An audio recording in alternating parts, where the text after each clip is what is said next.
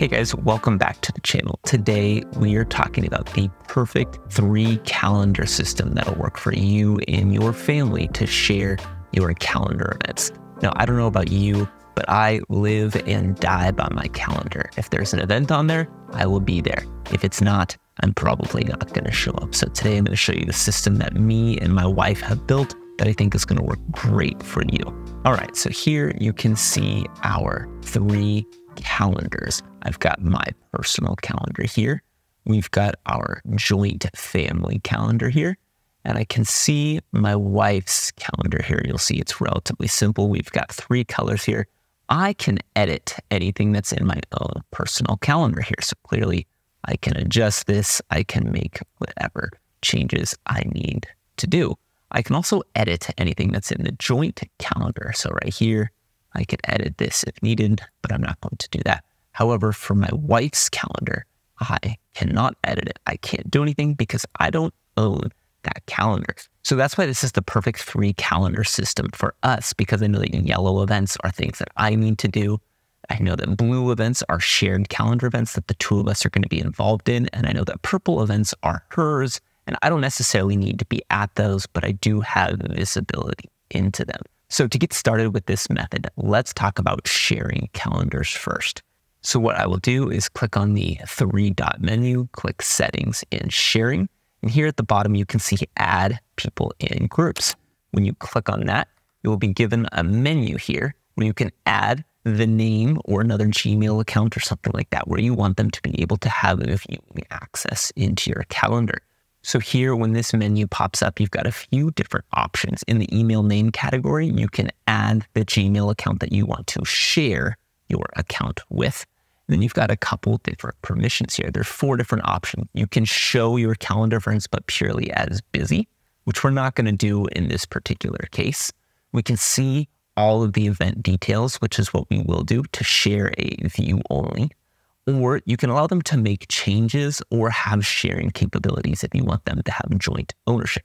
So in this particular case, we're going to click see all event details. We will add the name and we would click send. That person will then receive an email allowing them to add this calendar. So once you've shared your individual calendars, the next step is creating a joint or shared calendar. Maybe it's the Jones family calendar or something like that. To get started with that, you're going to click into the settings menu and we are going to add a calendars here. So when you click on the left, you click add calendar. We will create a new one, but we're going to call this the Smith family.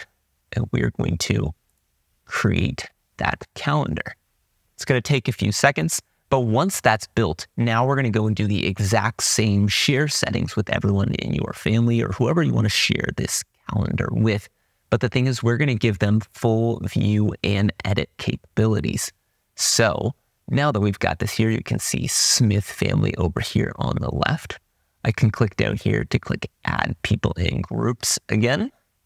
And now what I'm going to do is when I share it with these people, I'm going to allow them to make changes and give them sharing ability. The sharing ability is optional. You don't have to give everyone in your calendar the ability to share it. But this is going to allow everyone within this joint calendar to be able to view and edit any event they would like. So once you've got your three calendars set up, here I've got my personal calendar, my wife's calendar, and the family calendar you might want to change the colors of those calendars to make them easily distinguishable. Now you can do that by simply clicking on the three dot menu and choosing a new default color within the Google Calendar system. But there's actually a better way, especially if you care about the aesthetics of what your calendar is going to look like. I personally like the website Coolors or Coolors. I don't know, say it how you want but it's a really great way to create different custom color palettes. So here you can just keep clicking spacebar until you find the palette that you like, or you can navigate over here into the Explore tab and choose a set of colors. So let's say we're going to use this color palette. What you'll do is go ahead and grab the color that you need. You need a hex code. Copy that. Then when we go over here into the calendar, you'll click the three dot menu, click this add custom color icon and we will paste in that color code. And there you go. I just took a custom color palette that I found online and applied it to my Google Calendar. And the thing is, these colors will actually maintain themselves as you go into other apps. So if you load into Apple Calendar or into Fantastical, it'll remember these colors. So now that you've got these calendars set up, these are not going to show up by default in those calendar apps. So let's talk about how you're going to add these shared calendars into Apple Calendar and Fantastical. The thing is here, as I pull up Apple Calendar and you see I'm blurred out all the information because we keep our calendar events very detailed. We have addresses, contact information. We share it with all the guests. It's a great way for us to have insight into each other's calendar and the things that are happening on a day to day basis.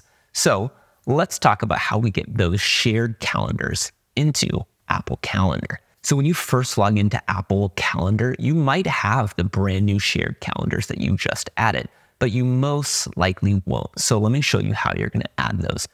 You're going to go up into Calendar and click Settings. And here you're going to click Accounts. And here, normally it'll default to account information. But if you drill into delegation here, you can see the other shared calendars here. So you can see our family calendar, you can see my work calendar, my wife's calendar. Once you check the boxes for the calendars that you want to add into Apple Calendar, it'll take just a few minutes and then they will start to appear. Now, if you're a Fantastical user just like me, it works almost the exact same way. So let's show how you can do that. Okay, so here we are, we are in Fantastical. You can actually see my calendar looks a little bit different here because it's actually pulling in my Apple reminders into it, which the other apps are not. I've got a video on that, which I'll link down below in the description. But if you want to add your shared calendars here, it's quite similar. We're going to go into Fantastical, into the settings. We're going to click into accounts.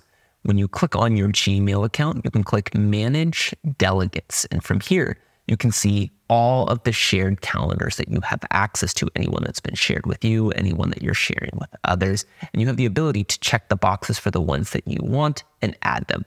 It's going to take a few minutes for you to click the box and have those sync in all of your events, but just be patient. It will happen.